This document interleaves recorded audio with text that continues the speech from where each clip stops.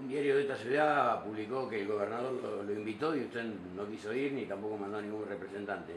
El día, eh, cuento cómo fue exactamente. El día jueves, día, perdóneme el día. Sí, el día sí. que viajé, yo fui el jueves, ellos fueron el miércoles. El miércoles me dice, Carlos, ¿te sumás al, al avión o al avión para...? Sí, sí, cómo no. Salimos de Luján, salimos de Luján, salimos de Luján. Bueno, me llaman el día anterior a las 11 de la noche para decirme que tenía que ir al Palomar a subirme al avión. Digo, mira, disculpame, yo no me puedo ir acá hasta el Palomar. Lo cierto es que después a Luciana y lo vinieron a buscar acá. Así que yo tengo que decirte que me dejaron abajo. Por eso me busqué por mi propio medio algo para ir a hacer eso, que es la contundencia de esta foto. La verdad, salieron de Luján, no me avisó nadie que salían de Luján y no me volvieron a invitar.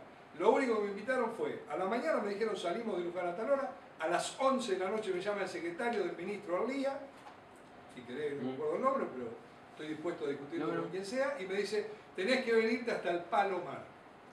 La verdad, muchachos. ¿Pero eso ¿Y fue la esta reunión semana o que la mantuvieron- semana? Ah, La otra ¿Y la reunión que mantuvieron esta semana mientras estabas internado? Eh, Porque hubo un encuentro la Sí, sí, habla. Hubo un, semana. por eso, hubo un El encuentro donde fue invitado el intendente de Suipacha, el intendente de, de Luján, el de la Si Cera y el de me dijo Areco. nadie nada. ¿A vos te dijeron algo?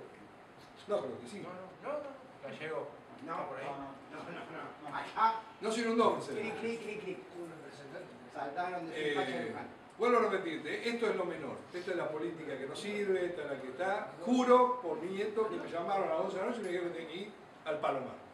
Después lo vinieron a buscar y Luján. Hemos tenido un- una, una- El primer día dijimos, se coordinó una organización eh, de, que el centro de evacuación, para el cual tengo que felicitar a todo el personal que ha estado trabajando, municipal, bomberos, eh, gendarmería. Hubiese sido imposible llevar adelante esto si no hubiese estado concentrado como se estuvo en este momento. Eh, el esfuerzo que han hecho, vuelvo a repetir, gente que ha- está durmiendo en el Instituto Ushuaia, que no se fue, y no que está durmiendo por evacuada, sino son empleados municipales que han estado en forma permanente. Y después entramos, lamentablemente, en las especulaciones, este, de, que es lo más terrible que nos pasa. ¿no? Ayer hubo gente que se fue, ayer hubo, en base a, a concejales de la Cámpora, ayudaron a que gente volviera a las casas, porque como estaban repartiendo cosas, la gente se empezó a ir a ver si tocaba algo lo que se estaba repartiendo. Esas miserias son las que repudiamos, eh, repudiamos en la plenitud de la palabra, porque ahora viene el trabajo más difícil, que es la organización de cómo se asiste y con qué herramientas se puede asistir.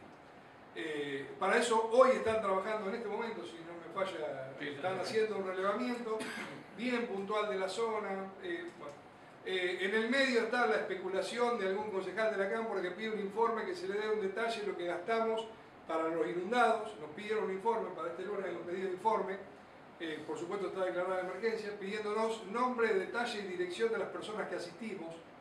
Había que decirle que había que llevar una fotocopia arriba del bote, cuando se le estaba dando de comer a la gente, arriba de los techos, para pedirle el documento, sacar la fotocopia, así tendríamos todo documentado. Esas estupideces, esas cosas este, que realmente degradan lo que es la política, la sociedad, la convivencia, son las que hoy nos toca vivir. Lo que nosotros queremos hacer, que me va a costar mucho, es tratar de tener el pragmatismo, eh, porque tengo la responsabilidad de, de tenerlo, de que no nos saque de la huella que hemos marcado. Hemos demostrado un equipo que funciona con mucho compromiso, con mucha respuesta, con mucha eficiencia en salud, en alimentación, en higiene, en, puesto todo lo que tenía que poner.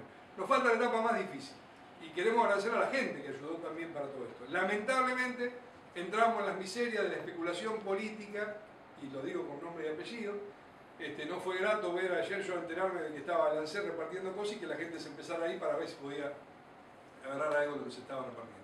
Esto es lo más bajo que puede llegar a pasarnos. Lamentablemente tengo que hacer una crítica al gobierno nacional porque yo no puedo creer que desconozca la, la incapacidad y la especulación de, de la cámpora local, pero esto es la realidad. Hoy tenemos todavía la magnitud del problema no se solucionó.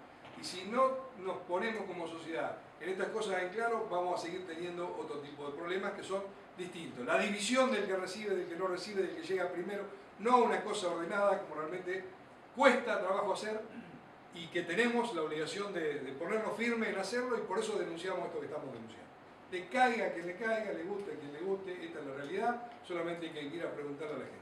La gente ayer se iba del centro de evacuación hasta preguntaba si después podía volver. Una vergüenza, una vergüenza. Estos son los muchachos de, con la camioneta de la CES, ¿no?